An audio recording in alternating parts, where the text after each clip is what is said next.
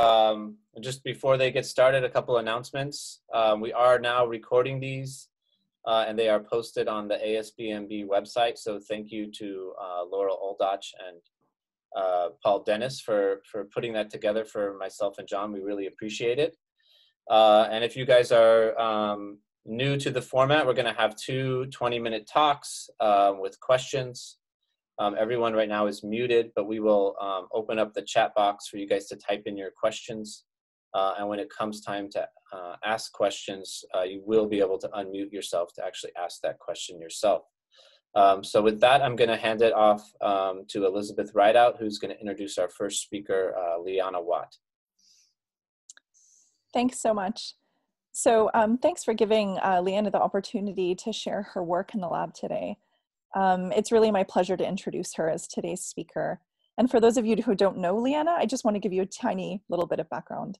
So Lianna did her undergrad degree at McMaster University, and she actually worked with Ian Dworkin looking at sexual size and shape morphism in the Drosophila wing. So she's been interested in sex differences for a little while. And since joining the lab um, in 2016, Lianna has been an amazing driving force behind her project, where um, she'll talk to you about today, where she's provided some really nice insights into the mechanisms underlying sex differences in metabolism in Drosophila. Take it away, Lianna. Thank you. Um, good morning, afternoon, evening, everyone. So I also want to thank Liz for the introduction and all the organizers for giving me this opportunity. So I want to start off by, I want to start off by talking about these widespread sex differences that we see in fat metabolism in many animals. One of the main things is that females typically store more fat than males, and this fat is distributed differently between the sexes.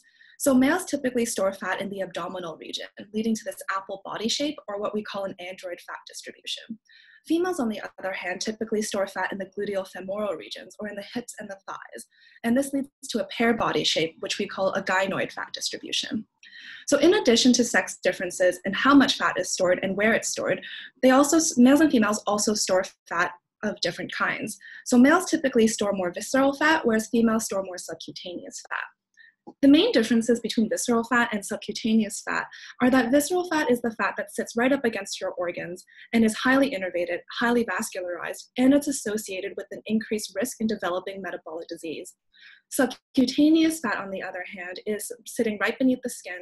It's less innervated, less vascularized, and it's not associated with an increased risk for developing metabolic disease. Because of these widespread sex differences in fat metabolism, there's a whole body of work looking at understanding how sex chromosomes and sex hormones play key roles in creating these sex differences in fat metabolism. Specifically for sex chromosomes, there's a very famous mouse model called the four core genotypes. And essentially, um, you can have mice that are either XX or XY with either male or female gonads. So this allows you to look at the impact of sex chromosomes and sex hormones independently. So using this mouse model, they showed that XX gonadal males have an increase in adiposity compared to XY gonadal males, indicating that the presence of two X chromosomes facilitates the increase in adiposity. Um, we also have individuals who suffer from Klinefelter syndromes, where instead of having XY chromosomes, they have XXY chromosomes. So XXY males have an increase in adiposity compared to their XY male counterparts. In terms of sex hormones, there's a lot of research looking at how they impact fat distribution.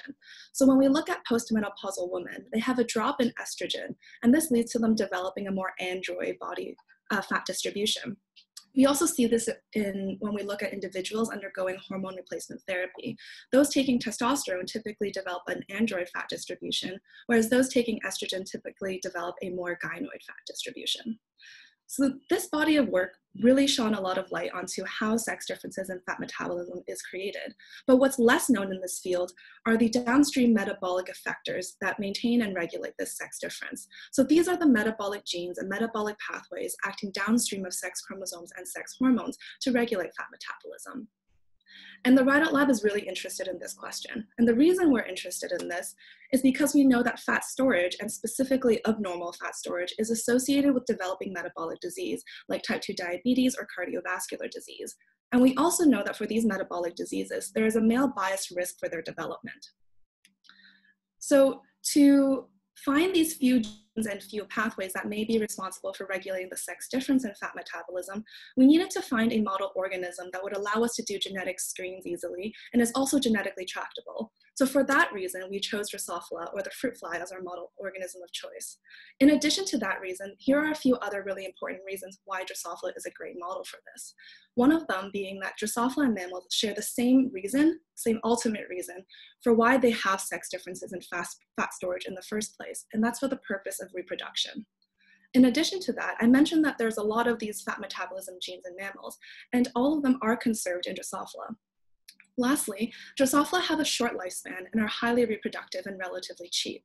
This means that we can do a lot of experiments with high sample sizes in relatively little time and for little money. So with that being said, the first thing that I did was to characterize any sex differences in fat storage and fat breakdown that we see in Drosophila. So here are fat storage graphs. On these graphs, we have percent body fat on the y-axis, and for the rest of this talk, orange will represent females, and purplish blue will represent males. So what you can see here is that females have an increase in body fat compared to males. This sex difference is created over the first five days of adult life. So when Drosophila eclose, or at day zero of adulthood, males and females actually have the same amount of body fat. And over the course of five days, males significantly drop their percent body fat, whereas females maintain theirs. And this is what creates that sex difference in fat storage. This sex difference is then maintained until at least 30 days of age, which is about a middle-aged fly. So in addition to looking at fat storage, we also looked at fat breakdown. To do this, we exposed the flies to a lipolytic stimuli, starvation, and we collected flies at different time points post-starvation to measure whole body triglyceride levels. So in these fat breakdown graphs, the y-axis represents the change in percent body fat, the left half of the graph represents the change between 0 and 12 hours of starvation, and the right half of the graph represents the change in body fat between 12 and 24 hours of starvation. So what you can see here is that at any of these time points, females do not lose a significant amount of fat, whereas males do lose a significant amount of fat between 0 and 12 hours, as well as 12 and 24 hours of starvation. So altogether, this shows us that females have an increase in fat storage and a delay in fat breakdown compared to males. And this actually confirms to us that Drosophila is a really good model for studying this because these are the same trends in fat metabolism that we see in mammalian studies. So just to give you some context for how I'm structuring my talk, the first part will be looking at my published work where we show that Brummer is a metabolic gene that regulates the sex difference in fat metabolism. And for the latter half of my talk, I'll be sharing some of my current data, some unpublished work, on looking at a metabolic pathway called the adipokinetic hormone pathway and how it may also regulate the sex difference in fat storage. So the first thing that we did is we actually looked at a whole host of fat metabolism genes using qPCR to measure their transcript levels. So that data is represented here. Each bar is one gene. If it's colored in blue, it means that it was significantly male biased. If it was colored in orange, it means it was significantly female biased. And if it's gray, it means there was no sex difference. And what you can appreciate is that there's extensive sex-specific regulation of a lot of these fat metabolism genes. Since we did see sex differences in fat breakdown, we also measured the transcript levels of all of these genes at different time points post-starvation. And when we did that, one gene stood out to us because of its very unique profile, and that was Brummer, which is right here. So now I'll be showing you the mRNA transcripts for Brummer um, over the course of starvation. So in these spider plots, this vertical axis represents fold change.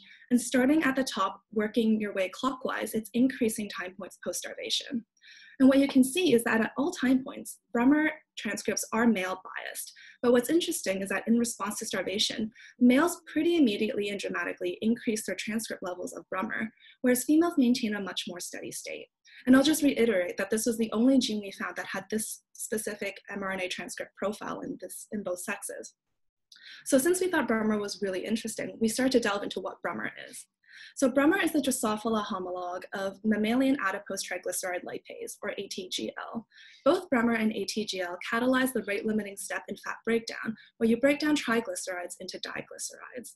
And I just want to go into a little bit of detail about the protein structure, what we know so far. So at the C N-terminus, sorry, um, we have our conserved region, and in our conserved region, we have a patatin-like domain that contains the catalytic core of the protein. Following this domain, we have a Brummer box, and following that, we have this variable region that varies between the species. So there is a body of work that's already looked at how Brummer impacts fat storage. And what they found is that an increase in Brummer levels leads to a leaner phenotype, whereas lower levels of Brummer lead to a more obese phenotype. These studies, though, were when they were done in adults, were only done in males. And when we looked at the data, what we thought was very interesting was that it was quite reminiscent of our sex difference in fat storage, where males are leaner than females, and males have higher levels of Brummer compared to females. So we had a hypothesis then that higher levels of Brummer in males leads to their leaner phenotype and their increase in fat breakdown compared to females. To test this hypothesis, the first thing we did was to look at whole body mutants for Brummer. So in these graphs, lighter colors represent our controls and the darker colors represent our experimentals or our uh, whole body mutants. So when we start with fat storage, you see that our control animals have this nice sex difference in fat storage. And when we look at our Brummer mutant animals, we see that this sex difference is abolished. And this sex difference is abolished largely due to a male biased increase in fat storage. When we then also look at fat breakdown, we see that here we have our control males losing a significant amount of body fat between 0 and 12 hours and between 12 and 24 hours of starvation. But our Brummer mutant males are no longer losing a significant amount of body fat at either of these time points. I also haven't presented the female data here, but Brummer mutant females were no different from their control males, and you'll recall that females do not lose a significant amount of body fat in the first 24 hours of starvation. So what this tells us is that Brummer or ATGL is required for the sex differences in both fat storage and in fat breakdown. Since we were using whole body mutants though, we haven't um, narrowed down which tissue Brummer function is acting in to uh, regulate these sex differences. And as many of you know, Brummer has been shown to function in the adipose tissue to regulate fat metabolism. So that was a logical tissue for us to start with. In order for us to look at Brummer function in specific tissue types, we use a binary expression system in Drosophila called the UAS-GAL4 system. In this system, we have a tissue-specific promoter bound to a GAL4 protein, which is a transcription factor. This can then bind to the upstream activating sequence, which will promote transcription of a transgene of choice. In our case, we're using Brummer RNAi to inhibit Brummer function. So when we inhibited Brummer function in the fat tissue of flies, we saw that it actually increased fat storage in both females and in males. So what this means is that Brummer function in the fat is not regulating the sex difference in fat metabolism. So this meant that we had to kind of go back to the drawing board. Well, if it's not the fat, what tissue is it? So we do know that Brummer is expressed in a variety of other tissues, including the gonad, the gut, the muscles, and the central nervous system. So using our UAS-GAL4 system, we inhibited Brummer function in each of these tissues and cell types, and we came across two hits. The first one is that um, is the somatic cells of the gonad. So when we inhibit Brummer function in these cell types, it actually had a male biased effect on fat storage. This is now a different project in our lab, so I won't be going into more detail about this work today, but I will be talking in detail about our second hit, which was in the male neurons. So when we inhibit Brummer function in the neurons, uh, we actually saw no impact on fat storage on either sex, so I haven't shown you that data today, but we did see a male biased effect on fat breakdown. So if we look here, these gray bars represent our genetic controls, and you see that, that these males are losing a significant amount of body fat in the first 12 hours of starvation. But when we look at animals that have Brummer inhibited in the neurons, we see that these males are no longer losing a significant amount of body fat. And if we move over to this female side, we can see the inhibiting Brummer function in female neurons had little impact on their fat breakdown. So now we know that Brummer function in postmitotic neurons is impacting the sex difference in fat breakdown via a male biased manner. And this was a really, really interesting finding to us. And because it was so interesting, we actually had to go back and just double check a few things. One of which is, is Brummer normally expressed in neurons? To answer that question, we used an open resource called the single cell transcriptome of the Drosophila adult brain. Using this resource, we, resource, we want to see if any of the cells in the adult brain were co-expressing both Brummer and a marker for neurons. So what you can see here is blue representing cells that are positive for Brummer, and in red, we see cells that are positive for our neuron marker. And you can see this plethora of purple points in, in the middle here, indicating that there are neurons that also express Brummer. And just to make sure that this was a reliable source, we also checked to see if Brummer was co-expressed with a marker for the glial cells. And you can see these glial cells are marked in red in these very specific um, separate clusters. And you can also hopefully see that there are purple points in here, indicating that glia also normally have expression of Brummer. So now that we've confirmed that the neurons do normally have uh, transcripts for Brummer, um, many of you know that Brummer is a lipid droplet associated protein. So we wanted to then also check if these neurons normally contain lipid droplets. And as many of you can appreciate, this is a really difficult question to answer. But we were very fortunate to be able to collaborate with Dr. Michael Welte, who generously gifted us with this really fantastic tool called a lipid droplet targeted GFP. So for this tool, we use a neuron-specific GAL4 to drive expression of the lipid droplet GFP, specifically in neurons. And this will form green puncta, and these green puncta indicate lipid droplets in neurons. So here I'm showing you whole brain mounts. Uh, the top is a female and the bottom is a male. And you can see these green puncta in these regions of the brain here.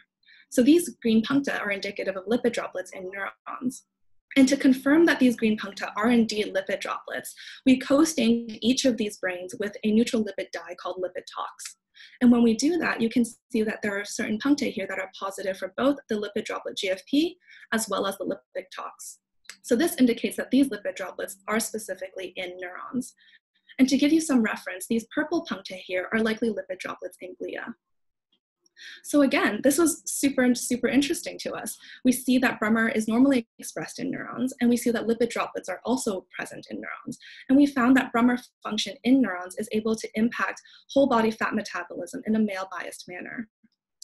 So just to give you a quick recap of what we've talked about so far, we know that we found this one metabolic gene called Brummer, which is acting in a sex-specific manner to create sex differences in fat metabolism.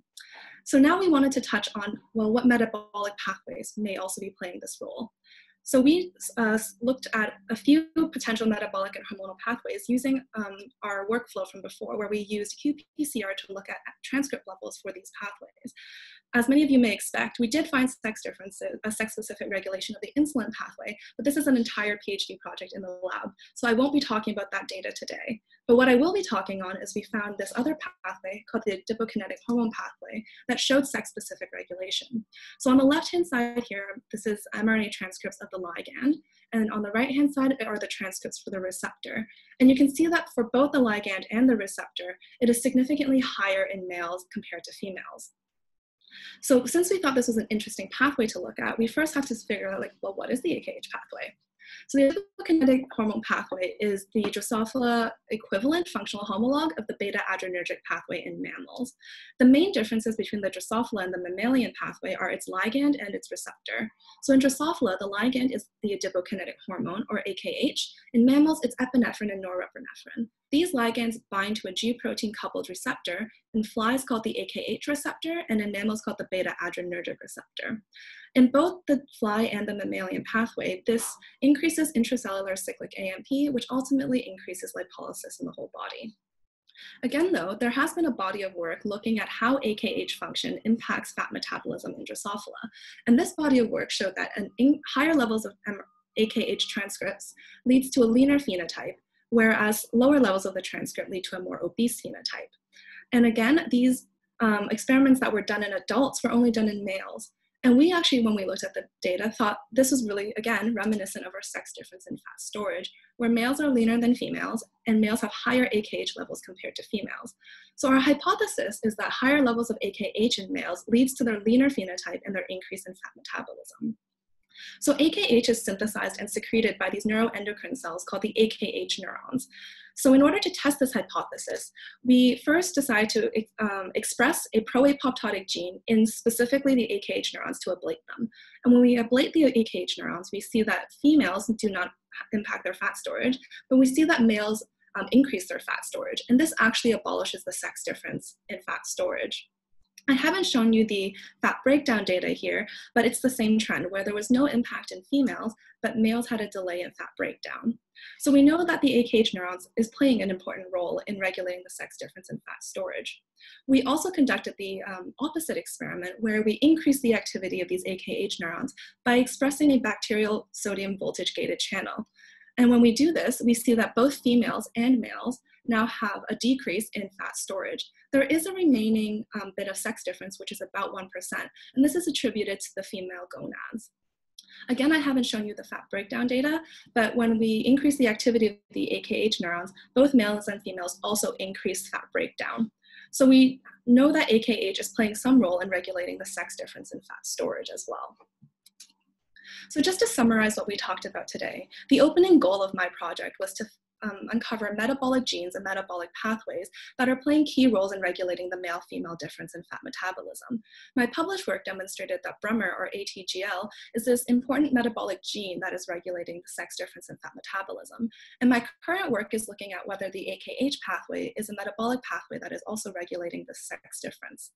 The reason we're so interested in AKH is because it's the functional equivalent to beta adrenergic pathway. And we also know that the beta adrenergic pathway has sex differences, things like the type of receptors, the number of receptors, and how responsive they are to lipolytic stimuli. Altogether, one important takeaway from my work is that it is really important to study both sexes, especially when we're trying to understand how um, animals normally regulate fat metabolism because this will lead the way to being able to, to develop better treatments for metabolic diseases for both males and females. So with that, I'd like to thank my lab, especially Liz for all of her support and guidance, all the postdocs, lab techs, undergrads, and grad students who helped out with this project, our amazing collaborators, Dr. Welte and Dr. Montooth, my committee members, and all of our funding agencies. So I'd love to take any questions now.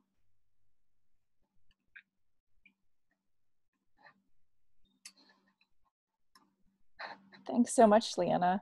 So we'll, I'll call out individual people and uh, you can read out your question. So the first question is from uh, Rafael DeMarco. Do you want to unmute yourself and ask a question?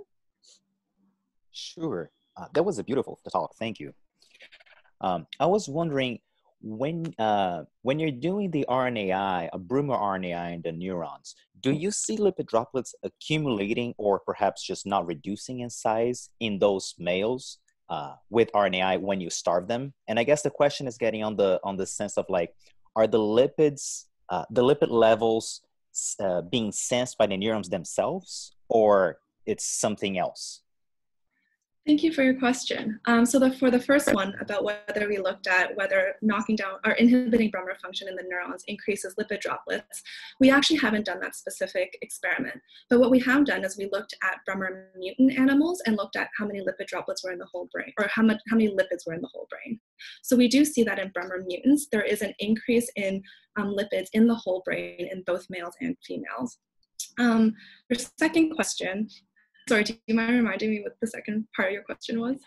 I was, uh, it was kind of tied to the first part is whether or not it's actually the lipid levels in the neurons that are being sensed or if it's like something with the glia or something. And I guess from the whole animal, you can't really tell, right? Yeah, um, we, I don't have an answer for that question, but that is a really interesting point. Thank you. Thank you. Thanks so much. Um, the next question was from Dan Robin. Yeah, just a very quick one. So, and I think I missed this because I got a phone call, but so you see changes in Brummer ATGL, or you implicate Brummer and ATGL in uh, um, uh, in this differences in obesity, and you, and you see changes, or you implicate AKH as well, the metabolic pathway. But I'm not clear how they're connected how are the changes in, in Brummer or activity of Brummer affect the uh, metabolic pathway? Did you talk about that? Um, yes, so there is a different paper um, an, uh, that looked at how Brummer and AKH are working maybe either together or separately to regulate whole body fat metabolism. And actually what they showed is that Brummer and AKH, um, they are likely working in separate pathways. And I think there is there is research showing that Brummer is not activated by the AKH pathway. So we're not making the point that AKH is specifically linked to Brummer. So we're, um, what my work has just shown is that one metabolic gene is Brummer and one potential metabolic pathway is AKH. But I also did mention insulin, and insulin has been shown to regulate um, Brummer slash ATGL function. So someone else is doubling into that in our lab. Okay, thanks. Nice talk. Very nice talk. Thank you. Thanks so much. So the next question is from Balat. Hi, can you hear me? Yes. Yes, uh, that was a great talk. Uh, I'm wondering whether there is any activity difference between the flies, uh, male and female flies, especially uh, comparing the mutants uh, with the wild type. Right. So um, we actually don't know. That is on the docket for us to test. So we will be testing um, if there's a sex difference in like the number of neurons, um, their projections, their connections, and their activity.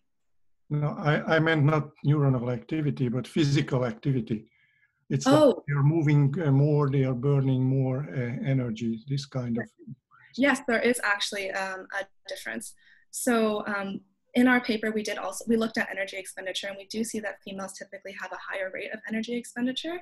Um, I can't recall currently the direction of the sex difference, but there is a sex difference in the activity of flies. So there's a difference in how much they sleep in total, and also how long each bout of sleep is, and how long each bout of activity is. I'm sorry I don't have the details of that right now, but there are sex differences in physical activity. Okay, thank you. The next question uh, we have from Petra Kienesberger. Um, hi, Lianna. I hope you can uh, hear me. This was a wonderful talk. Thank you so much. Um, I learned a lot. Um, now, I, I, had a question regarding um, ATGL activators and um, and inhibiting proteins. I mean, the host has been identified already, at least in mammals. So, have you seen any sex differences between um, a homologs of CGI58 or GOS2 um, if they exist in Drosophila? So we do, I think we know the coactivator in Drosophila, but um, we actually have not looked at the proteins that are interacting with Brummer and whether there are sex differences in them. Um, likely there may be, but I'm not sure. Thank you. Great. Um, the next question is from Graham M. Hello. Hello. Uh, so first, want to say great talk. Um, the your point about studying the different sexes, I fully 100% agree with, and that's something that we need to move forward with.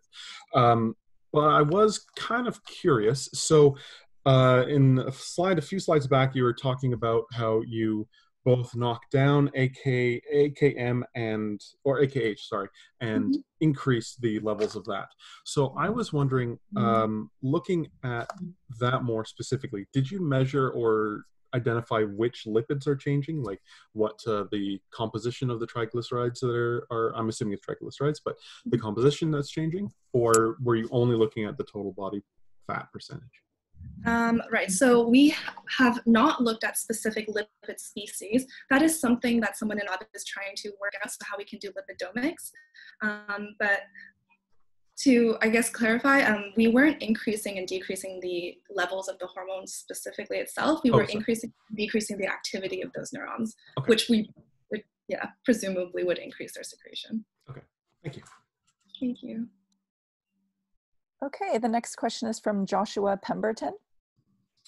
Hi, uh, excellent talk. Um, I was just wondering, given the differences in the fly model um, for development as well as sex-specific use of the steroid signaling system, if you looked at all whether ecdysone or some of these other um, uh, steroid hormones were differentially modulating this fat storage. so we did start looking a little bit at ecdysone. Um, I th- one of the things we saw, I believe ecdysone is, there are papers that show that you can feed ecdysone to males and they do increase in fat, and I believe females have higher levels of ecdysone. Um, so that is, there is a sex difference in that ecdysone pathway, but um, we haven't fully flushed that out yet. Like this was a, this is a relatively new, pro- the ecdysone part is a new, a little bit of a new project in our lab. Great, thank you. Okay, and I think the last question will be from Michael Welte, and then we'll wrap up to move on to the next speaker. Hi, Lianna. Uh, that was really a wonderful talk. Uh, not only a great story, but you made it really accessible. So I'm curious about this divergence uh, between males and females in fat storage. So that they start out uh, the same and then diverge. What do you think is the biological significance? Um, honestly, so our hypothesis is maybe it's something like maybe females are synthesizing more lipids, whereas males are not, um, or males are simply breaking it down and females are just maintaining it. Um, but we, we actually don't know. That is actually um, something we're really curious about. We want to understand how males are losing um, their body fat in the first five days and why they are, but females are not. So that is something we are interested in looking at. Great, thank you. Well, fantastic talk, uh, Lianna. Um, and thank you from I'm, everyone. Uh, um, it was really a great. I'm sure everyone would clap and thank you. So I guess the next um, uh, talk, we're going to hand it over to um, Julie, who's going to introduce our next speaker, Jonathan Ma, uh, from the Hospital for Sick Children. And you guys are going to hear about uh, some of his exciting work. Hi, before I introduce John, I want to just say thank you to John Burke and to Mike for organizing this seminar series. It has just been fantastic. Um, great way to learn lots of new things and uh, fantastic talks. So um, I'm supposed to introduce my student. So Jonathan Ma is a PhD student in my lab. Um, he came um, to my lab after getting a master's in Scott Kiss's lab at McGill. So he worked there on um, uh, cholesterol, efflux, and a little bit on the SED3 um, ortholog gulp. And while he was a master's student, he got really interested in membrane trafficking and um, came and interviewed and was excited about trying to do some genetics in flies. And I'm really glad that he did that because it's been great having him in the lab and he's getting very close to finishing and will be going off to a postdoc probably in the fall um, in Fred Maxfield's lab, assuming that people are allowed to go start postdocs by then. So anyway, um, I'm just gonna turn it over to John now.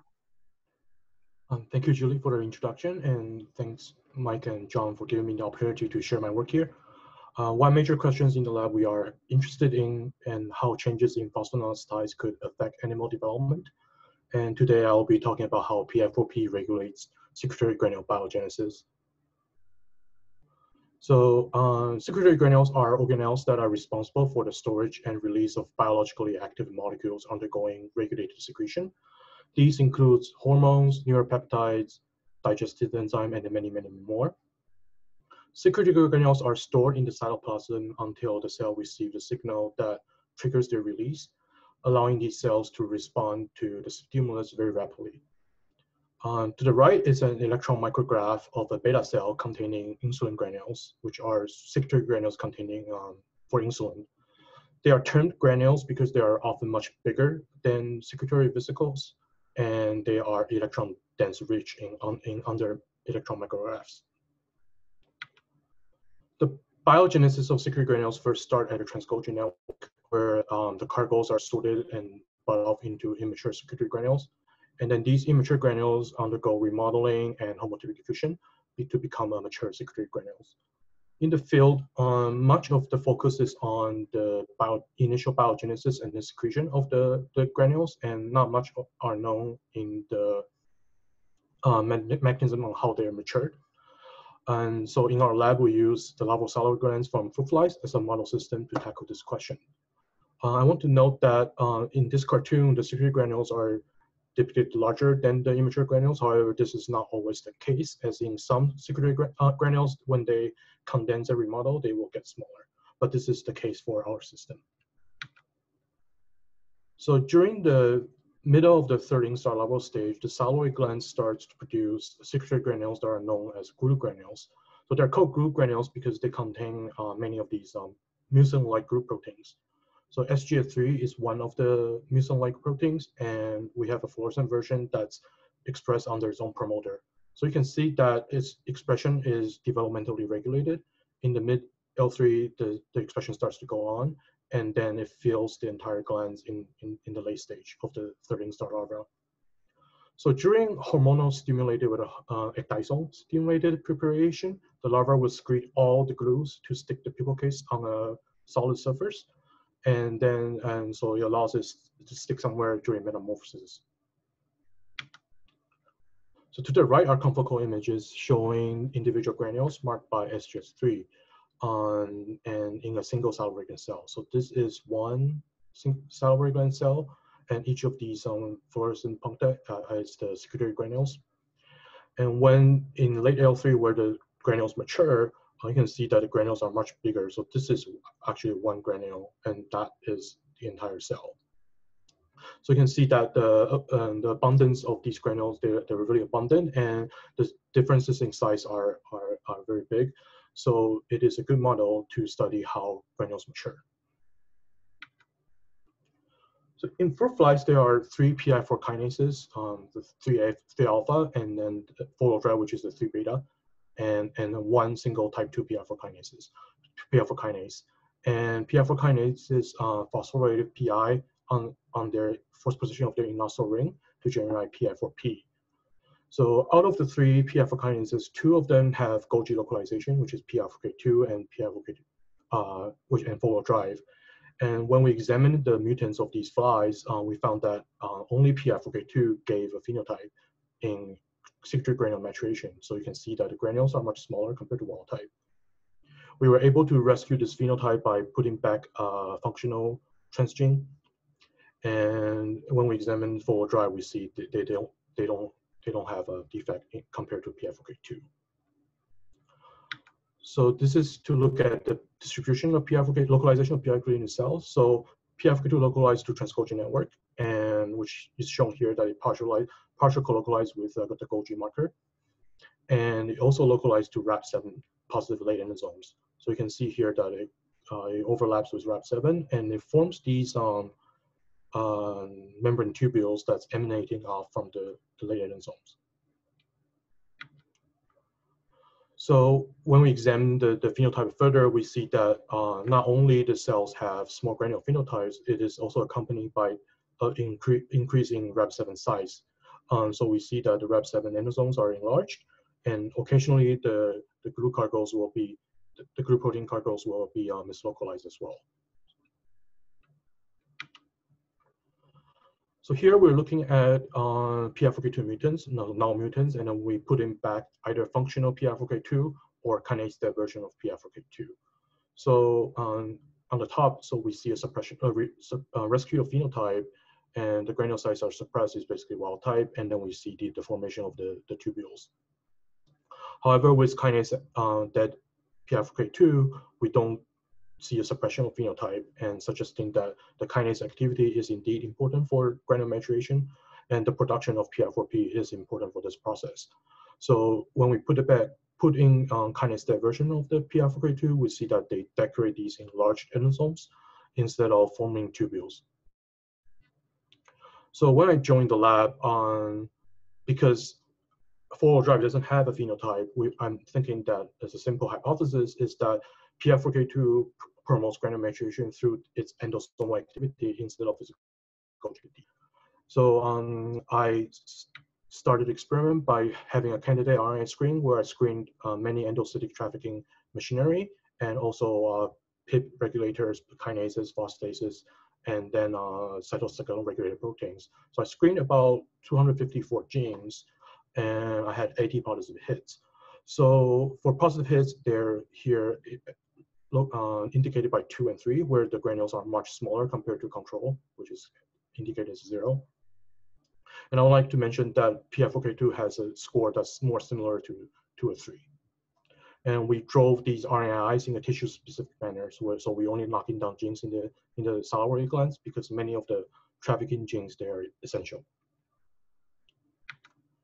So um, the primary, the initial screening was overly successful. So out of the 80 hits, uh, I have 48 hits that's endocytic, and they they have uh, they range all the way from things in, needed for endocytosis internalization like AP2, through uh, many of them is involving early endosome function and early endosome to late endosome transition with ESCRTs and um, CORVET HOPS.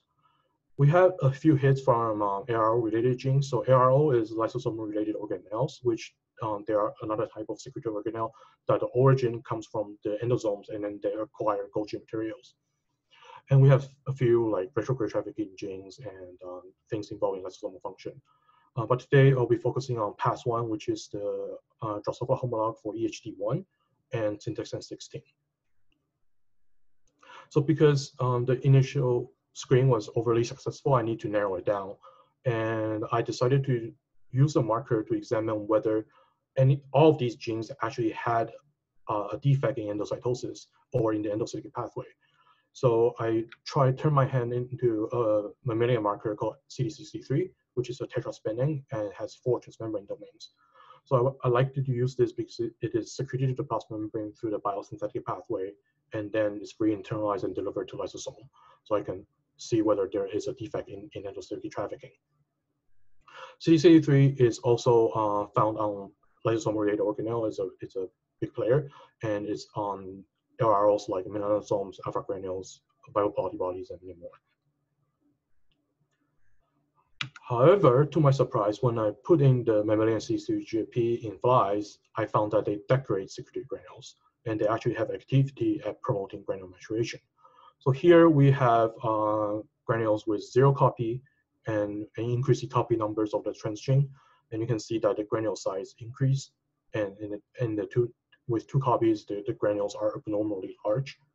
To the right are uh, quantification looking at their cross-sectional area, and you can see that there is in, there's an increase in size. And then at the bottom here is just showing the distribution. So it has it shifts the distribution to a larger um, secretory granules. So it suggests that CD63 then has a function um, playing a role and to confirm that um, I try to knock down the Drosophila homolog, which is the TSP29FA. And so we knocked down and we showed that the, the granules does, um, does get perturbed and it's, it's, smaller compared to wild type. And we were able to suppress this phenotype, phenotype by uh, expressing the mammalian version that is not uh, affected by the RNAi. And to the right is the quantification showing that um, the granule size are indeed smaller compared to wild type, and then it's getting suppressed. So because CD63 has um, activity at promote granule maturation, so then I think uh, I wanted to see whether um, all of the hits from the primary screen, like the initial screen, whether any of them are required for CD63 to promote maturation. So I did a secondary screen with the RNAs and the CD3-GFP. So here are just some examples where they suppress. So for AP2, uh, CD63 overexpression suppresses the, the RNA phenotype. And for Rab5, they, it, it has a partial suppression, the granules get a little bit bigger. But we also have hits where it makes these things worse. So for example, R1, small GPAs, and, then it is, uh, it's a much smaller, uh, and it's much worse. And Interestingly, there are uh, some that it failed to suppress, suggesting that CDC, these genes are needed for CD63 to promote granule maturation. And one of them is PI4K2. So when I express the transgene in PI4K2 mutant, it doesn't suppress the phenotype. And, and the, the two other genes that I noticed are syntaxin 16 and Past1, where they failed to suppress the phenotype as well. So it's suggesting that these three genes may act in the same pathway and they may be needed, they, they are needed for CD3 to promote granule maturation. So a brief summary so far where we identify three, uh, two genes that acts, potentially acts in the same pathway as PI4K2, uh, and they are needed for CD3 mediated uh, granule maturation. Um, based on the literature, Past1 uh, and 16 are both involved in retrograde trafficking. However, um, they've shown that Past1 um, has its activity at the early endosomes, while our data suggested that PI4K2 acts, at the late endosomes. So I wanted to make sure, want to um, double check whether PI4K2 has early endosome activity in, in our system as well. Like it was showing in mammals, but uh, we haven't, we're not sure whether it's the same in flies. So then I turn into a PI3P marker to label early endosomes. Uh, so using the 2xFYVE. And so in the mutant, we see that uh, early endosomes are enlarged with whole endosome that we, we barely see in, in controls. And, and like the late endosome phenotypes, it also occasionally has uh, uh, granule markers being mislocalized into these hollow endosomes. And to the right is the quantification. So then, the next we look at its localization and uh, activity. So we look at, we put in, in kinase that PI4K2 in control and mutant background. And so in the control, it localized to early endosomes and informed these um, membrane tubules like what we shown with Rab7. And in the mutant, however, there's a reduction of, in the number of tubules, and we've seen these increase in uh, clusters of hollow endosomes. And to, again, and to the right are the quantifications. So since now we established that PI4K2 may act in early endosomes, we, I was wondering whether PI4K2 uh, would mediate the trafficking of CD63 from the early endosome to uh, either the secretory granules or the TGN. However, I could I didn't never observe that in live. I never saw like CD3 traveling on these tubules. However, I do see that uh, M-cherry PF2 occasionally like so these tubules occasionally touches uh, CD63 GFP coated granule membranes, and you can see the pointed by the arrows. And to the right is just colocalization analysis where I showed that there's no um, correlation between PF2 and CD3GFP overall. However, they do overlap slightly by looking at Manders. Um, so if I look at how they overlap, um, uh, mo most of the PF2 signals contain CD3, but this is not true vice versa. So since there is no uh, strong evidence on how uh, CD63 is trafficked by PF2, we're wondering whether six, is there um, a relationship between CD63 and its product, the PF2, which is PI4P. So we're using the biosensor uh, 2XP4M, and we do find that they're, they're highly colocalized on the granule membrane. So, so uh, CD63, GFP and M2XP4M, they're both colocalizing on the granule membrane. So to see whether PF42 is needed for this uh, distribution of PI4P onto the granule membrane, we, we're, again, we're examining the 2XP4M in PF42 mutant background. So here is the wild type where we see uh, PF, PF, PI4P on the granule membranes. However, uh, this number is, is significantly reduced in the PF42 mutant. So the granule size are smaller and, and then there's very few uh, granules that has PI4P uh, on their membranes and to the right is a quantification. So we see about, uh, so, so in wild type it's about 100%. So most of granules have it. And in the mutant, it's roughly 40%. So now we established that PF42 is important for this distribution of PI4P onto the secretory granules. We're wondering whether the hits that we identified through our CD63 secondary screen actually affects PF42 dynamics. So to look at this, I uh, we expressed GFP-PF2 in the Past1 mutant and the Syntaxin 16 RNAi. And indeed, we see a significant reduction in the number of tubules, and we see that PF2 also has more of these enlarged endosome decoration in both the Past1 mutant and Syntaxin 16 RNAi. So we want to see where the make of the tubules are being affected. And uh, here is a video showing that the control PF2 tubules, they're very stable and they, they extend or retract very slowly. However, this is not the case in the Past1 mutant. So they, it, without Past1, um, the, the tubules become less stabilized. So I think that could be affected. It, it is uh, ability to, to, to uh, for retrograde trafficking. And to the right is a configuration on the average velocity of these uh, tubules to show how stable they are.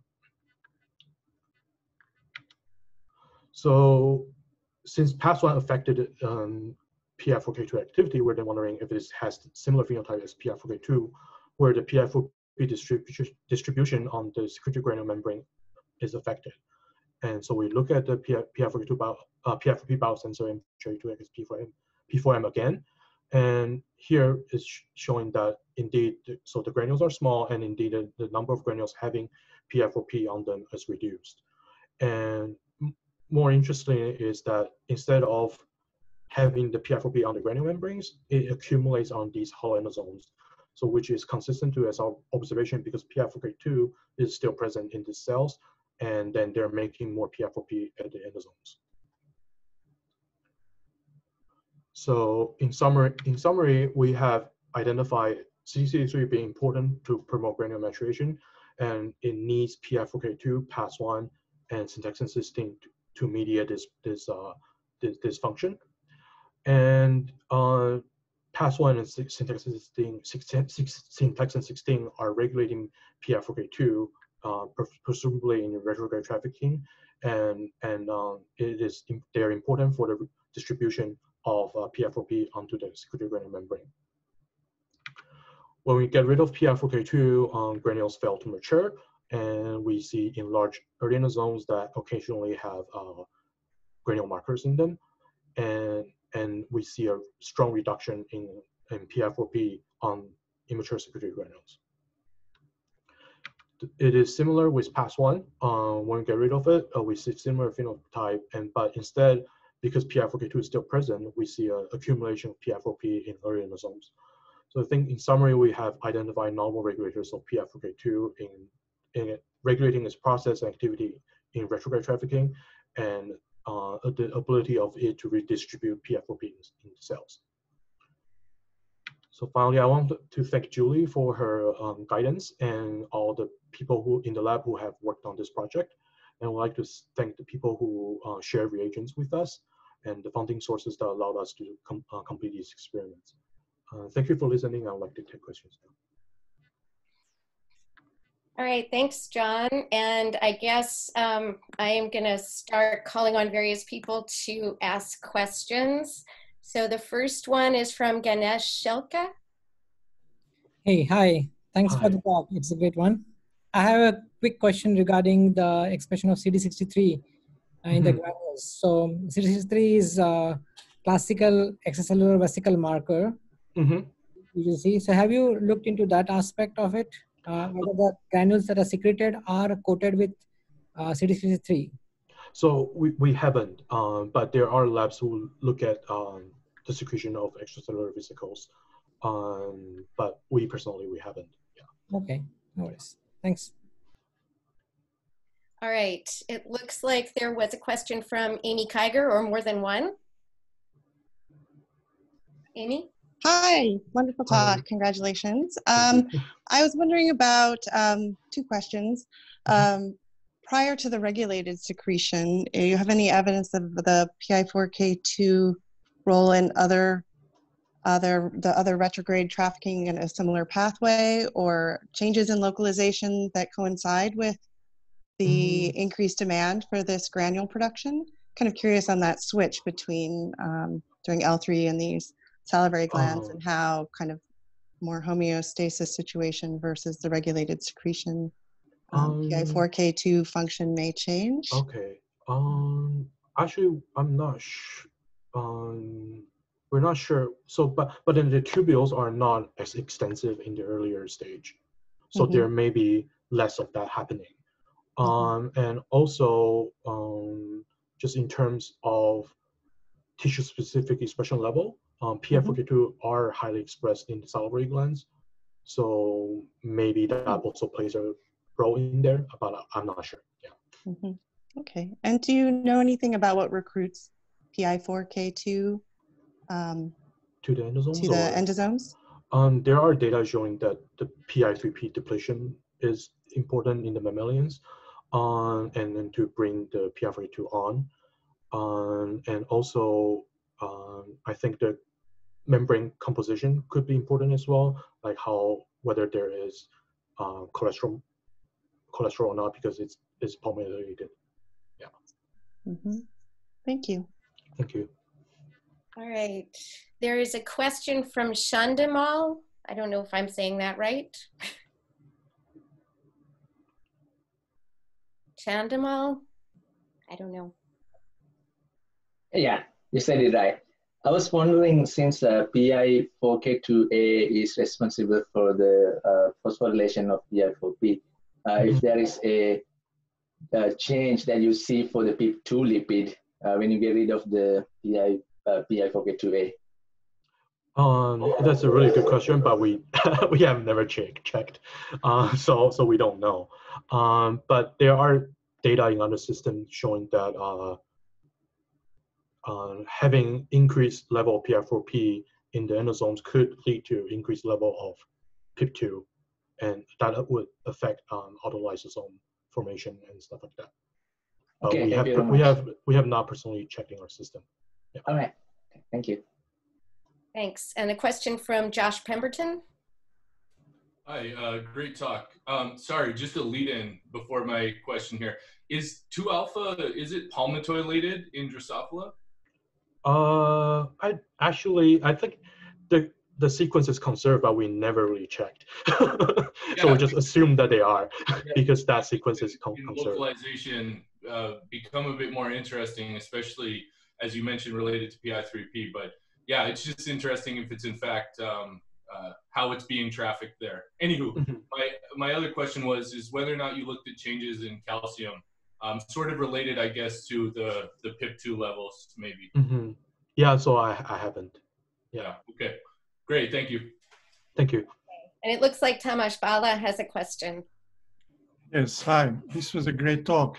Uh, given the, the big hits in the endocytic pathway, uh, is it possible that what happens here is that some important component that is important for the maturation of these uh, granules Mhm. is not recycled back properly?